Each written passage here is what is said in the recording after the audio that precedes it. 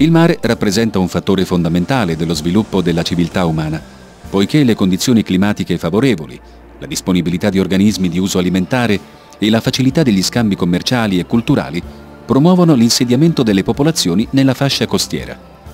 Il Mar Mediterraneo in particolare è stato ed è tuttora crocevia storico di popoli e culture, insediatisi nel corso dei secoli sulle coste proprio per le sue particolari caratteristiche, posizione geografica, stabilità di condizioni climatiche, coste estremamente frastagliate, continuo rimescolamento delle acque a causa della presenza di un complesso sistema di correnti e del lento ricambio con l'Oceano Atlantico.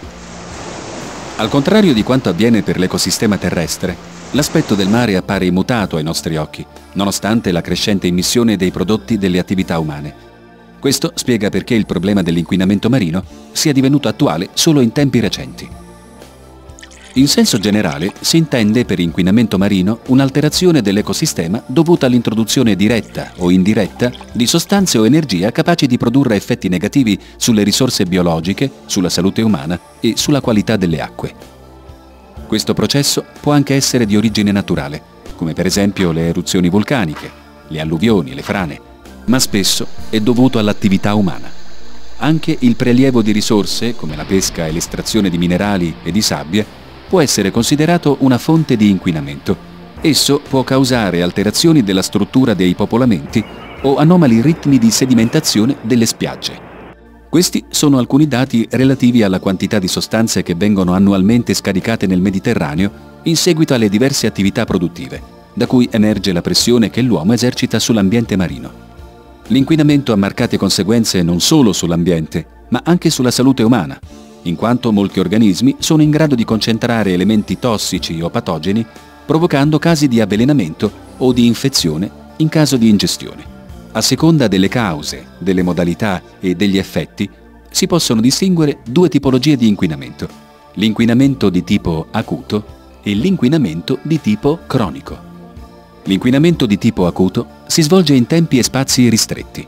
Un incidente che provochi un inquinamento acuto è di norma catastrofico e imprevedibile, come lo sversamento di petrolio in mare, la perdita di materiale chimico o radioattivo, la rottura di un collettore fognario. In questi casi le cause sono facilmente individuabili e gli effetti, anche se gravi, sono transitori. L'inquinamento di tipo cronico è invece legato all'uso continuo di acque fluviali e costiere per lo smaltimento di sostanze o calore. Se il fenomeno inquinante viene a cessare, si possono ricreare, anche se in tempi lunghi, le condizioni originarie.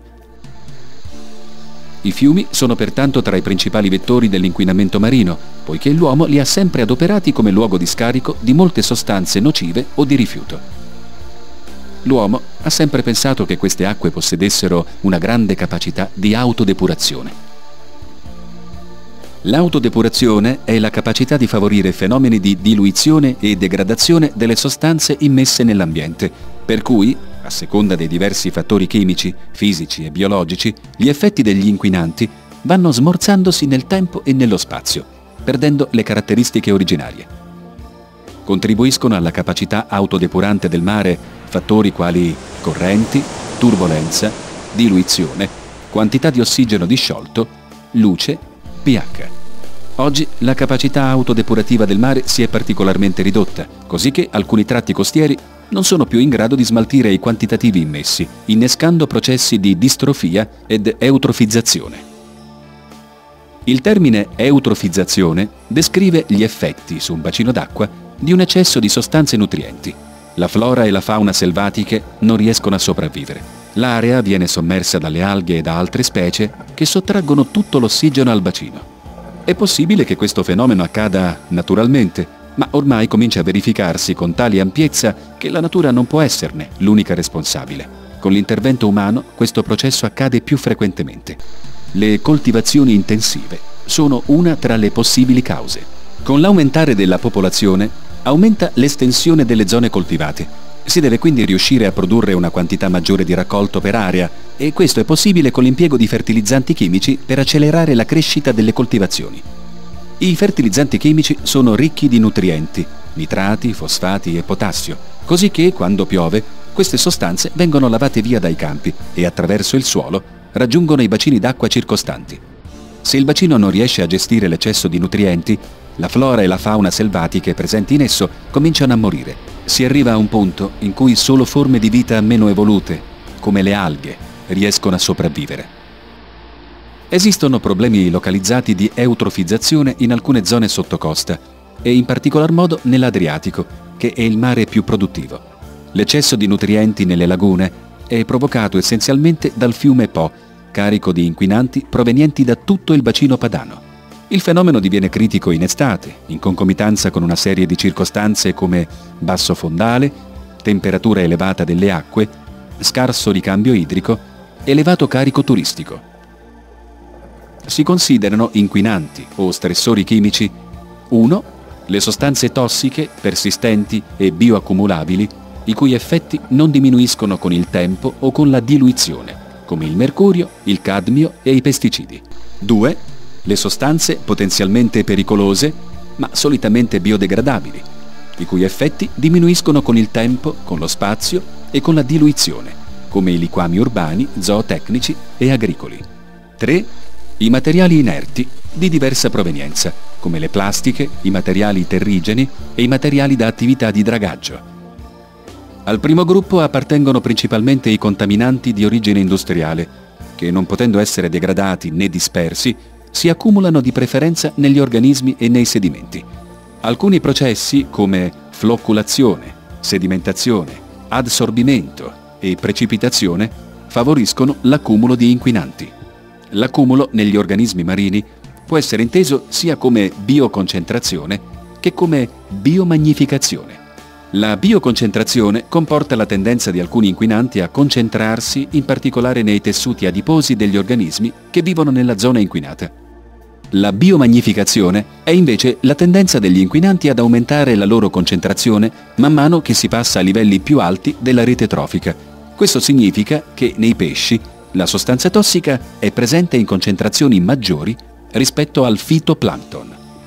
Al secondo gruppo appartengono sostanze normalmente biodegradabili che arrivando in un corpo idrico si trasformano per azione dei batteri in composti più semplici, quali nitrati e fosfati, ammoniaca, anidride carbonica e acqua, nuovamente utilizzabili.